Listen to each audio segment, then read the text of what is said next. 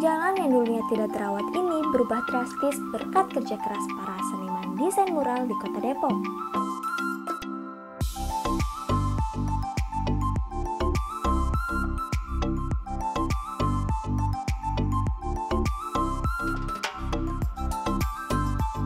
Terowongan yang dahulunya kumuh, gelap, dan rawan tindak kejahatan, kini penuh dengan goresan berbagai macam warna.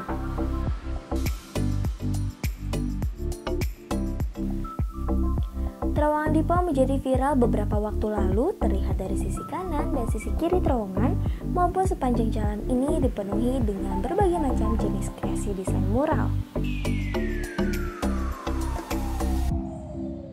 Terowongan sepanjang 30 meter ini bisa menghabiskan waktu pengerjaan selama 2 minggu.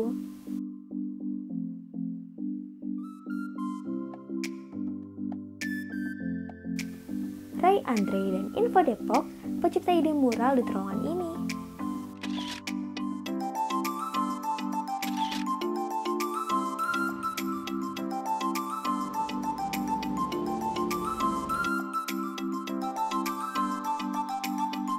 Menurut saya sih bagus ya, jadi apa kesannya jadi makin rapi, nggak seperti dulu gitu loh.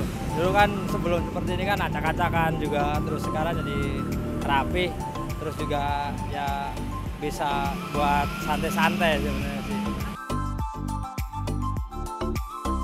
Berbagai jenis mural ada di sini, seperti dinosaurus, suasana bawah laut, kupu-kupu, rumah, dan slogan pemberitahuan. Bagaimana? Menarik bukan? Jangan ngakunya anak Instagramable kalau belum cobain spot yang di terowongan di ini. Saya Kairunisa, sampai jumpa.